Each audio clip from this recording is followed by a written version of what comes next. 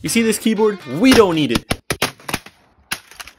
Because today we're going to be making a Roblox game without typing. Now, how is that possible? Well, the plan is to use my voice. That's right, I'm going to be writing code by speaking and hopefully be making a full game with that. This should be interesting.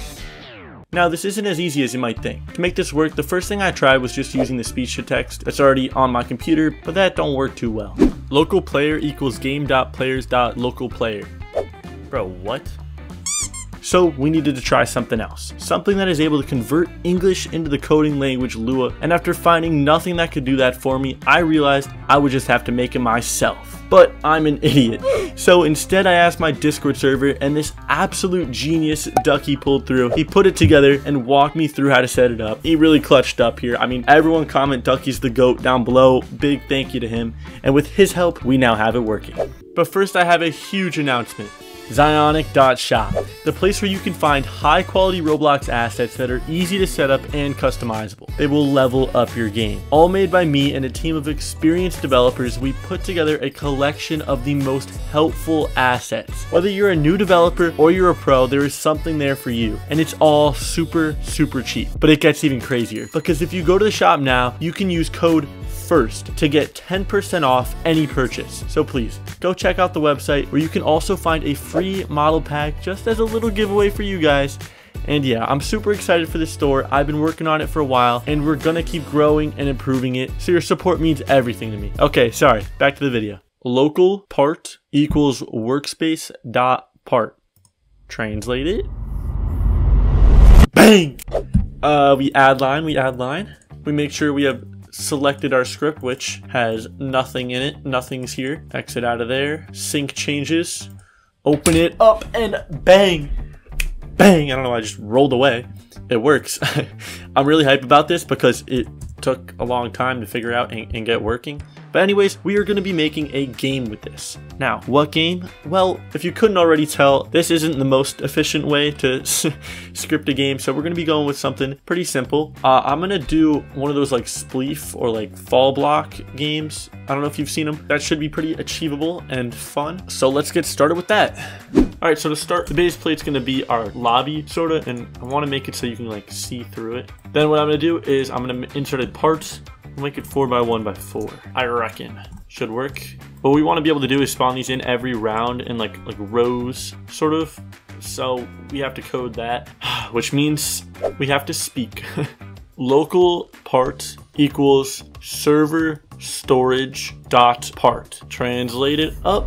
Boom. Add line. Sync changes.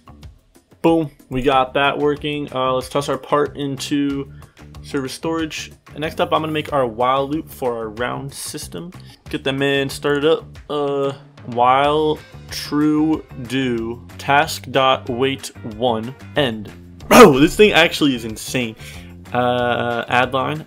All right. Um, why is there two? We're also gonna have to delete that. I think what I'm gonna have to do for this is I'm gonna say I cannot type at all, but I am allowed to delete things and I am allowed to like move things around. Just because anything else that I add into this script is just gonna end up down here. So I'll be able to add new things here and just like move them up here. Back to coding and I have a big one here to do.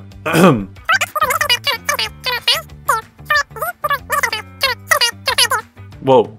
Um, I honestly can't tell. There's so much there. Add line. Okay. Could this be perfect? Bro, wait, let's try that out. Let's try that out. Let's see if that actually works. Oh, look at that. Look at that. Look at that. It's very laggy, but look at that. Beautiful, beautiful, beautiful, beautiful. Now it's time for me to get to work making sure when you touch the parts that you fall through and making people spawn in. Let's go.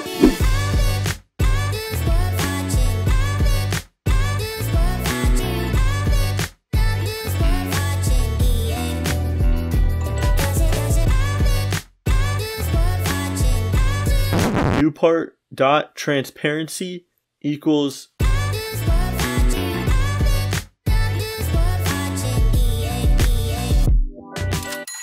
if v dot character then no ah not redoing the whole thing again ah! Alright, so the game's looking good. We've definitely had some struggles and redos, and the AI sometimes, for no reason, just kind of breaks entirely and gives me something completely random. But you know, it's actually going really well. I have a working game. Let's let's go check it out. We spawn in. I still don't know what that is. That's from the plugin. Um, we wait a few seconds. As you can see, the map spawns in beautifully and stuff breaks behind us. So it's not fully done yet, but once we're done, I'm gonna have my whole server hop in here and we're gonna play test it. That should be chaos. But before we do that, I wanna add leader stats. Now something cool about this is that it is an AI, so what we can do is we can just tell it to make us something. We don't even have to speak it out word for word, so let's try that. Um, code me a function that creates a leader stats folder and a wins value stored inside of it that all players get. Translate that. Okay, I, I can't even read that from there. It's kind of hard to read. Let's see if that works. Sync changes. Okay, um, looks like this right here is all that we need. Just gonna take this. I don't want to put it right there. I definitely didn't just press enter and bang. Also close your eyes. Boom. just like that, we have our wins. We're gonna have to make it give you wins whenever you uh, you win, which we're gonna do in a minute. But before we do that, I want to create a UI. Alright, so what this UI is going to do is it's going to display like what's happening, how many seconds are left, who won, is there a winner, all that good stuff. Every round-based game needs one for sure. And it's also going to make us have to use more than just one script. We'll have to create a local script. All right, now I'm just to go ahead and finish up this game and I'll check back in with you guys once I'm all finished, done, and we're ready to play test it. All right, guys, so our game is all finished. It's all done. Uh, this is what our code's looking like. We added everything from wins to our UI and all of that, which we're gonna go check out right now. I'm gonna go hop in the game and ping my whole entire server and see what happens. all right, here we have some people in the game. Uh, how everyone everyone's asking how I did it without typing. All right, here we go. Game starting. Let's try not to die here. Uh oh my own little island over here. Oh no. Get away.